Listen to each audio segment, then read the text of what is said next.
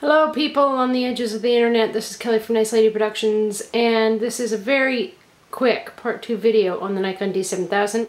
Now the comment on my last video on YouTube was that you can in fact change the aperture and the ISO and the shutter speed while you're in live view mode in either aperture priority or manual mode. So I took off the manual mode settings and I threw it in aperture priority mode and I want to show you why I would never use this mode for actually shooting a video.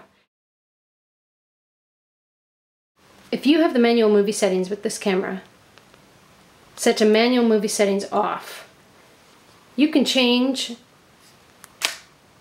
the f-stop or your shutter speed or your ISO all you want with the dials, but it's not actually changing anything with what you're shooting.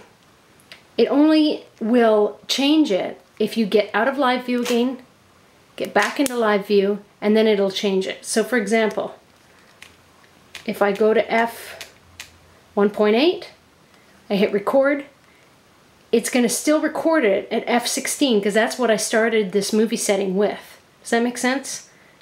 So it's at 50 to the second, f1.8. As soon as I hit stop recording, I get out of live view, go back into live view. Now it'll record it at f1.8. So it'll record it at f1.8 because I got into live view at f1.8. If I change it now and it visibly looks like it's changing, it's not actually changing what I'm recording.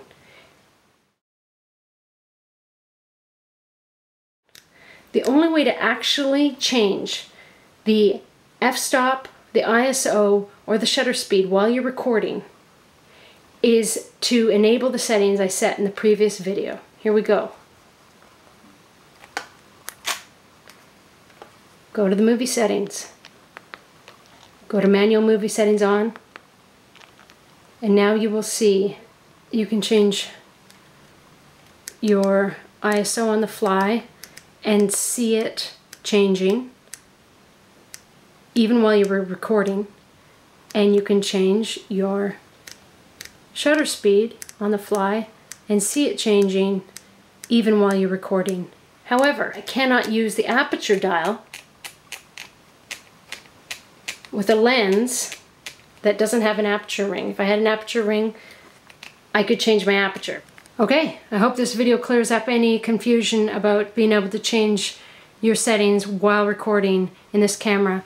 Always have your manual movie settings turned on if you want to use this camera and you will be a happy camper. Okay, thanks.